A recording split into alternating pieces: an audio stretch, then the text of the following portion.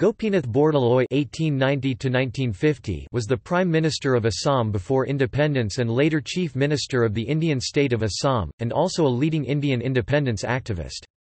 He was a follower of the Gandhian principle of non-violence as a political tool. Due to his unselfish dedication towards Assam and its people, the then governor of Assam Jairam Das Daulatram conferred him with the title, Lokapriya, loved by all.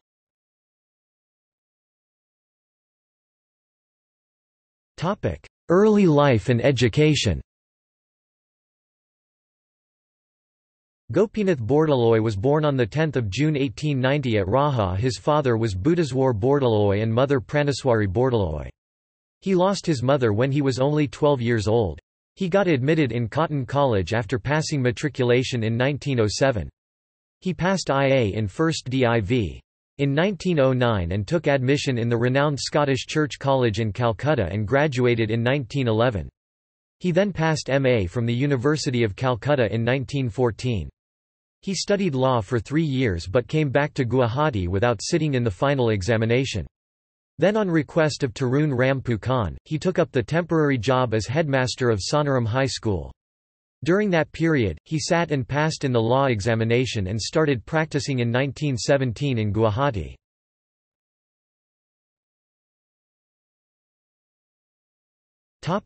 Political life The Assam Association was the only political organization of Assam in that period. Assam Congress was formed in 1921 as a branch of the Indian National Congress.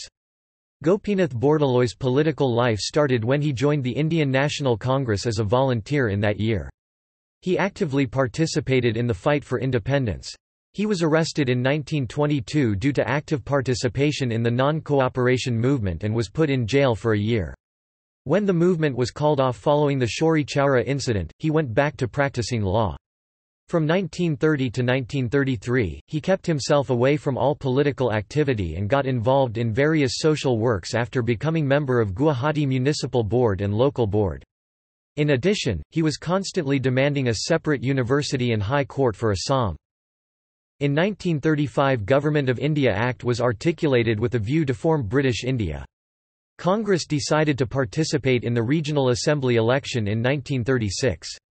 They won 38 seats and became the party with majority in assembly, but due to a dubious law meant to reduce the power of ministers and the cabinet, they decided to remain as opposition party instead of forming the government.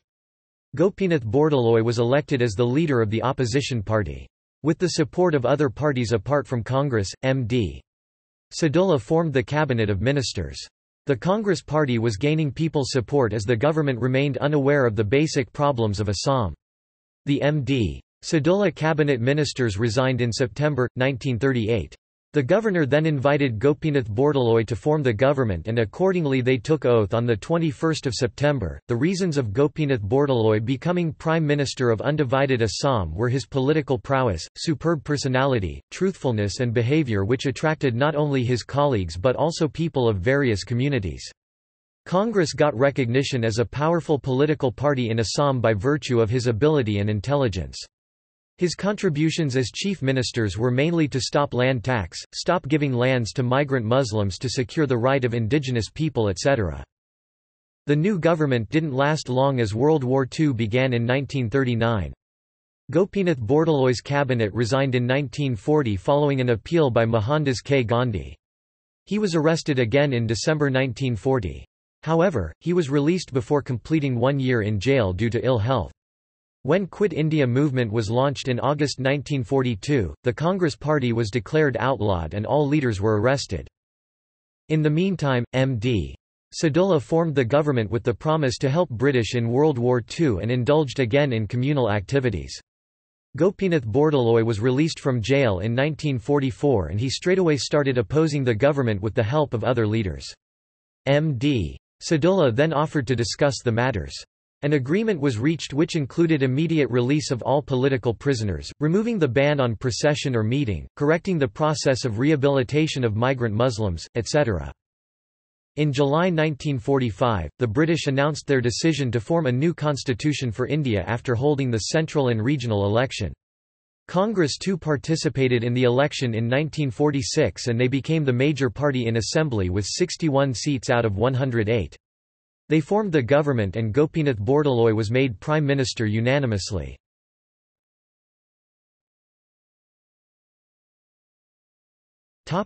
Cabinet Commission and Bordoloi's role The British government formed a cabinet commission in 1946 to discuss the demands for Indian independence. The members held meetings with the Congress and the Muslim League in Shimla and Delhi. Their plan included grouping of states into three categories for selecting the candidates to form the constitutional body with Assam and Bengal in third group. Gopinath Bordoloi sensed the ominous sign for Assam in the plan as the inclusion would mean the local representatives will become minority in comparison to Bengal. That would be devastating for rights of people of Assam. The Assam Pradesh Congress Committee decided to go against the grouping plan. Gopinath Bordoloi told the Indian National Congress Working Committee, Cabinet Committee and the Viceroy that the representatives of Assam will form the constitution of Assam themselves and will decide whether to join the group or not among themselves. Subsequently, the Cabinet Commission announced that the grouping will be mandatory for every state and they may later withdraw from the group if they want. This further complicated the situation. Bordoloi met the Indian National Congress leaders to discuss it with no result.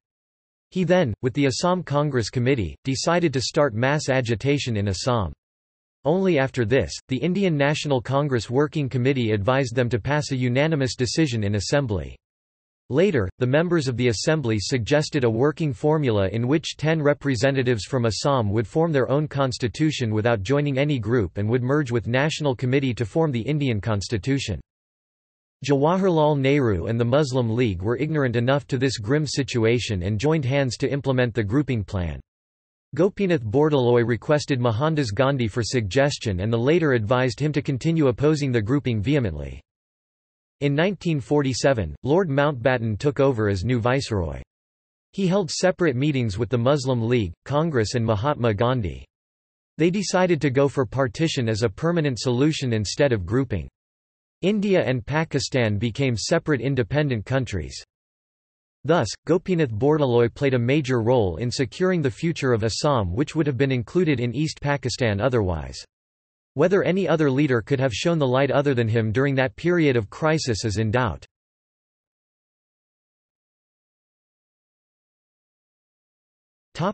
Contribution as chief minister